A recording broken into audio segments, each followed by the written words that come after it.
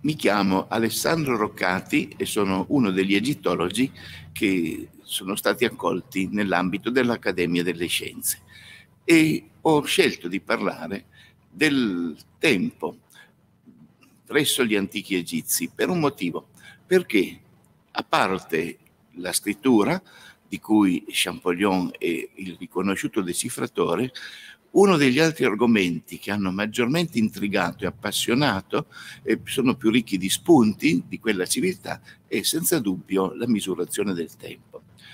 Misurazione del tempo che trova eh, accoglienza presso un popolo, un mondo che risulta più antico di quanti altri si abbiano fornito degli spunti come i cinesi o i caldei. E anzi, questo studio si trova proprio all'inizio dell'egittologia, quando, fresco del suo viaggio di documentazione in Egitto, mm, che fece Champollion nel 1828, non pago di quello che naturalmente aveva già trovato a Torino, e egli si eh, unì ad un celebre fisico e astronomo del suo tempo, eh, Jean-Baptiste Bion, il quale era interessato ad acquisire il massimo numero di documenti su questo tema, sul tema della misurazione del tempo.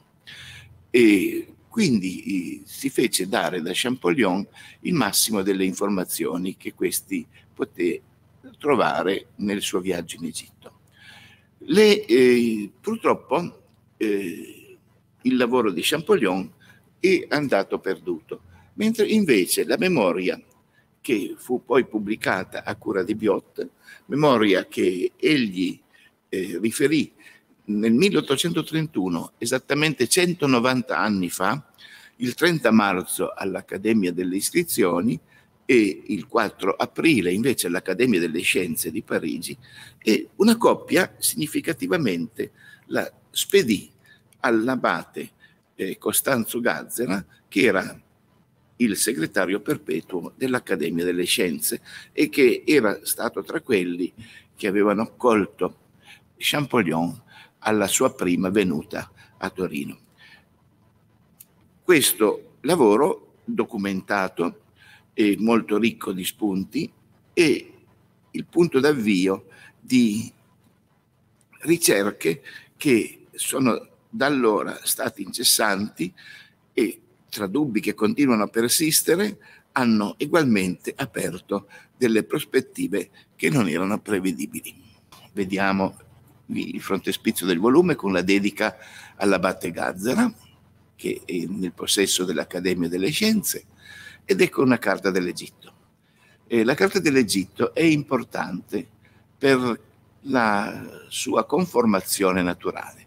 Questo paese si estende praticamente in linea retta da nord a sud, con una eh, grande differenza di latitudine eh, tra i punti di osservazione che possono essere collocati sul mare Mediterraneo, qui vediamo l'ubicazione di Alessandria, oppure all'apice del delta, dove partono le diramazioni del Nilo e della città di Menfi con le sue piramidi, o ancora più giù, invece, alla prima cateratta, qui siamo al tropico, dove si trova la città di Aswan, e che era naturalmente un punto di osservazione importante di quel fenomeno straordinario che interessa soprattutto l'Egitto eh, in modo singolare e con un'ampiezza che oggi non è più osservabile dopo i lavori fatti per bloccare il flusso dell'acqua, che fu la inondazione, inondazione che tutti gli anni, in misura maggiore o minore, partendo dal sud, da distanze remote per quei tempi, eh, per fenomeni che avvenivano appunto nel centro Africa, portava in Egitto una massa d'acqua tale da ricoprirne la superficie agricola, da bonificarne il territorio e da produrre una enorme ricchezza alimentare. Questa situazione dell'Egitto, insieme all'osservazione dei fenomeni celesti, fu fondamentale per l'elaborazione del calendario e della misurazione del tempo. Quando si costruirono le piramidi, stiamo parlando di 4500 anni fa, gli egizi avevano già perfezionato il loro sistema di scrittura e anche elaborato un metodo perfetto per la misurazione del tempo. Però questo risultato era il punto d'arrivo di osservazioni compiute già da migliaia di anni e che avevano preceduto di gran lunga la, la stessa civiltà dei faraoni, la civiltà egizia. E si fondava su osservazioni celesti e terrestri condotte a diverse latitudini nella valle del Nilo.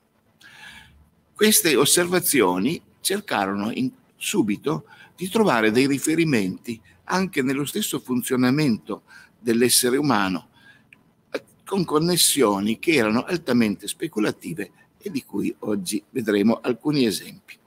Partiamo dal sistema numerico decimale, che era fondato sul numero delle dita delle due mani e era stato introdotto nel computo fin da età preistorica e mentre un sistema frazionario aveva come riferimento la Luna con le sue fasi. La Luna, questo astro che diventa tutto rotondo e poi si riduce fino a scomparire e si gonfia di nuovo. La scansione naturale del tempo, con l'alternarsi del giorno e della notte, ogni giorno cominciava all'alba e questo è singolare perché nella lingua egiziana non si dice mai giorno e notte, ma sempre notte e giorno, premettendo la notte al giorno. Però il giorno cominciava all'alba, questo è certo per gli egizi, e si integrava, come presso tutti i popoli, all'osservazione delle fasi lunari, uniformando presto la durata del mese lunare ad un numero ideale costante di 30 giorni, divisi in tre decadi. Quindi gli egizi non avevano il concetto di settimana, che è un concetto lunare, una settimana è un quarto di mese lunare, ma di decimana, di decimana che è appunto la terza parte del mese di 30 giorni. I giorni egiziani avevano un nome, come i giorni della nostra settimana, così come avevano un nome i mesi e così come i faraoni davano il nome a delle ere che si succedevano e che consistevano nella durata dei loro regni. Questo fu la base del calendario civile istituito intorno al 3000 a.C., quando pensiamo sia cominciato un vero e proprio Stato unitario. Ma questo era la sintesi di almeno due distinti calendari preistorici, eh, plausibilmente uno del nord, e possiamo immaginare come punto di osservazione Menfi con la vicina città di Eliopoli, il cui nome la dice tutta perché in, in greco Eliopoli vuol dire la città del sole, e il sud invece sul tropico eh, dove c'è Aswan.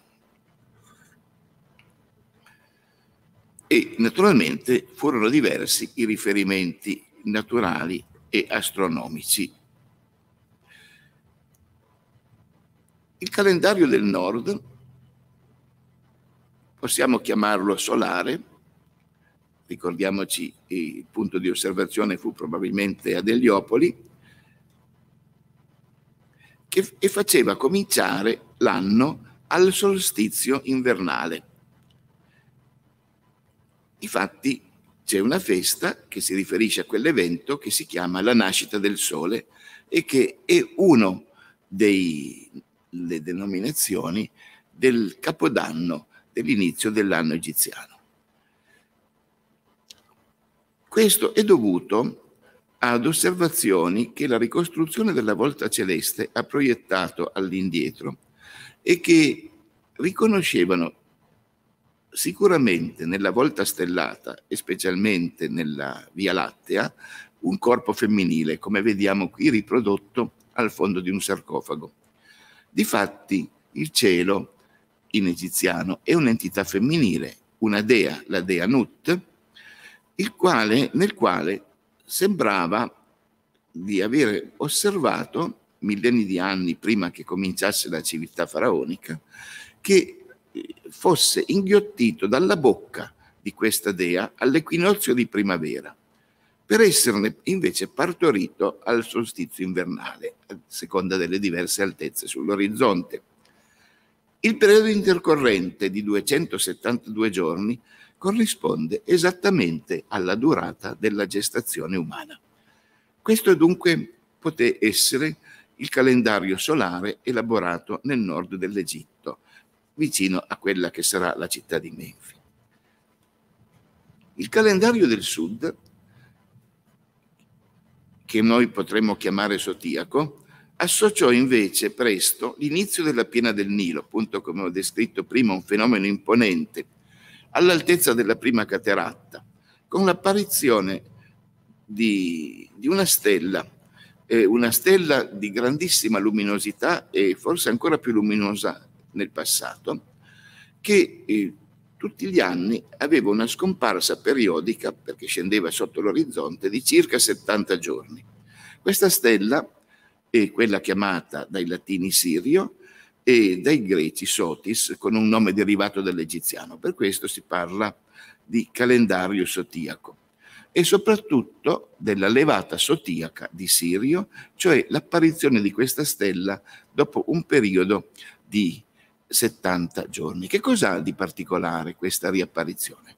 Il fatto che essa coincideva con l'inizio della piena del Nilo e quindi dava una, eh, un riferimento fisso per contare gli anni, i giorni intercorrenti tra i due momenti.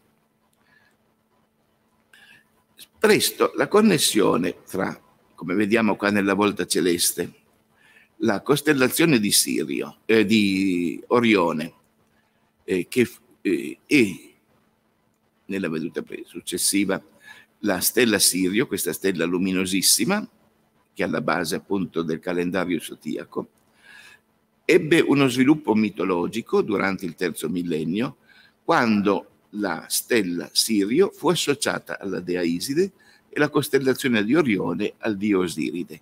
Iside, appunto, la sposa soccorrevole nei confronti del marito. E la stella Sirio che si trova nella costellazione del cane, come qui si vede, di qui si parla anche di calendario canicolare.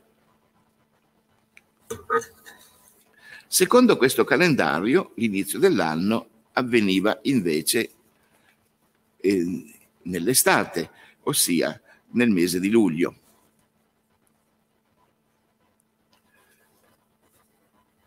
La eh, composizione dei due diversi calendari e forse anche di altri, quello del nord e quello del sud, comportò delle modificazioni e anche eh, delle trasformazioni che diedero un significato diverso alle osservazioni precedenti. Difatti l'anno civile ebbe come inizio quello dell'anno meridionale, ossia il mese di giugno-luglio, ma mantenne i nomi dei mesi che erano stati elaborati all'interno dell'anno solare, i quali così si trovarono ad essere spostati rispetto a quella che era la loro posizione originaria e quindi il loro significato che era alla base del nome che avevano ricevuto. Quindi non ci fu più una corrispondenza tra nome ricevuto e la funzione dei mesi. L'osservazione degli intervalli tra questi fenomeni astronomici, sia quelli che fanno parte del calendario solare sia eh, di quelli del calendario sotiaco, portò molto presto a riconoscere la durata dell'anno in 365 giorni, divisibili in 12 mesi, eh, più o meno il numero delle lunazioni, che furono fissati nella loro durata uguale di 30 giorni, aggiungendo poi 5 giorni per completare il numero di 365. Sono appunto i 5 giorni che mancano per fare l'anno. Ecco, qua vediamo un confronto dei due calendari. I cinque giorni che, come li chiamarono i greci epagomeni, stanno sopra l'anno, ossia non fanno parte dell'anno vero e proprio, sono giorni che non dovrebbero esserci. Senza tenere conto che l'anno reale è più lungo di un quarto di giorno, cosa che gli egiziani avevano immediatamente o quasi percepito.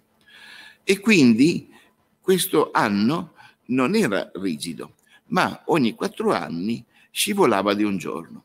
E questo gli egiziani lo permettevano senza che mai abbiano cercato dei correttivi. I ritmi agricoli, che erano stati associati a entrambi i calendari, persero così gradualmente una corrispondenza con la realtà dell'anno, la realtà naturale e fisica, eh, durante quello che è chiamato il ciclo zodiaco, ossia il periodo intercorrente perché il calendario che si muove di un giorno ogni quattro anni arretrando nell'anno abbia compiuto il ciclo intero di 460 anni in modo da arrivare di nuovo al punto di partenza. Oggi sappiamo che alcuni gli egiziani tenevano anche il conto di queste false corrispondenze, perché il capodanno non corrispondeva più con la, l'inizio della piena e la levata iliaca, iliaca di Sirio. Di conseguenza, se noi possediamo delle annotazioni precise, possiamo calcolare a ritroso il momento preciso in cui queste osservazioni furono fatte e registrate.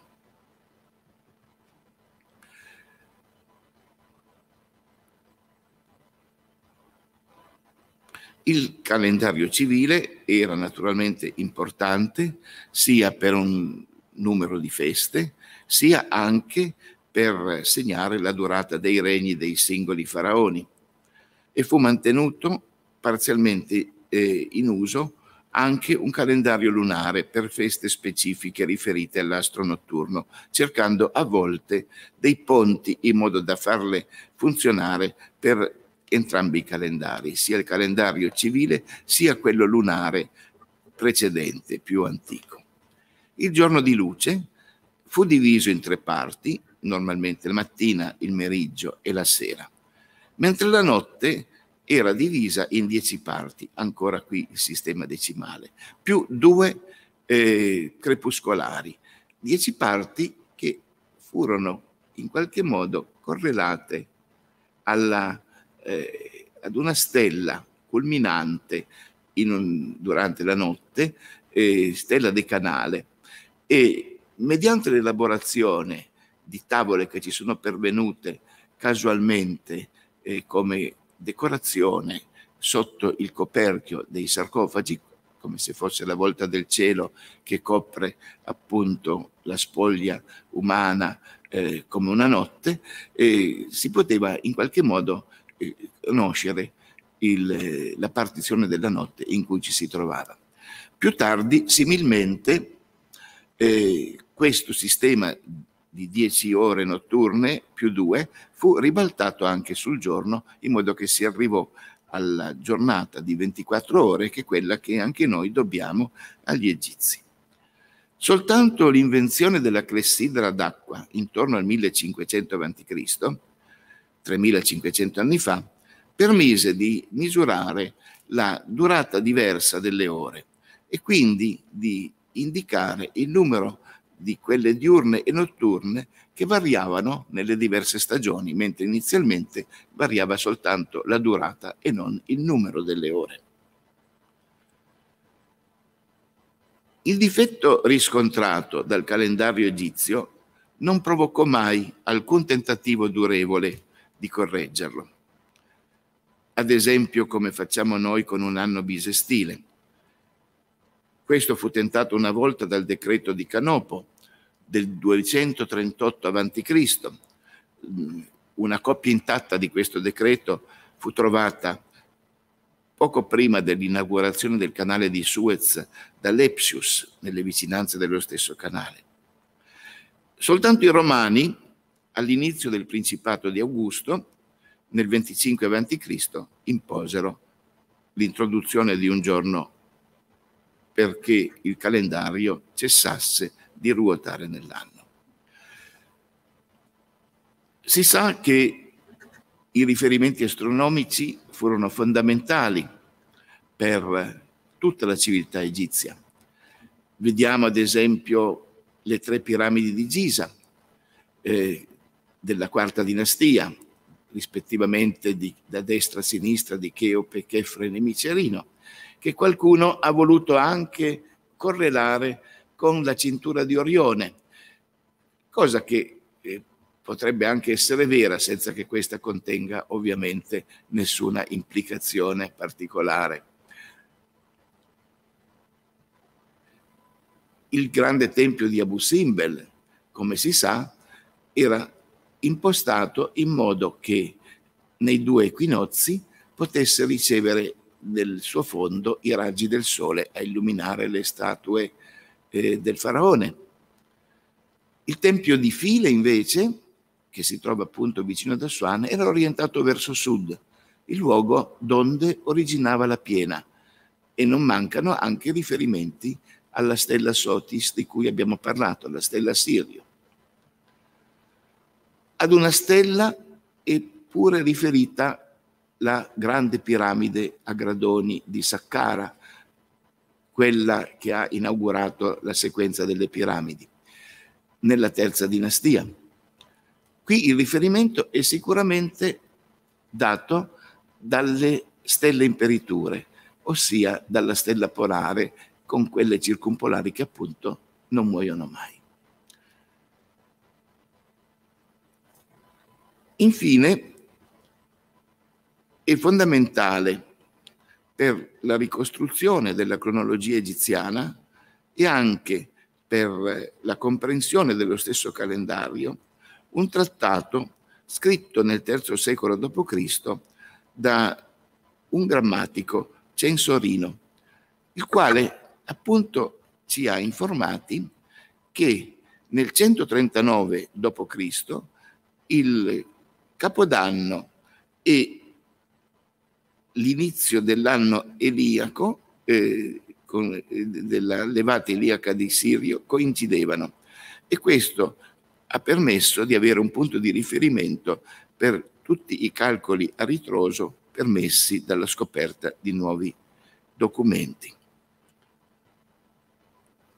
La prima edizione a stampa di questo trattato di Censorino del Dio Natale, Natali, che fu peraltro letto durante tutto il Medioevo, si situa alla vigilia del Cinquecento e da allora è cominciata la ricerca a ritroso sul calendario egizio di cui ho detto all'inizio, parlando dell'astronomo Biot.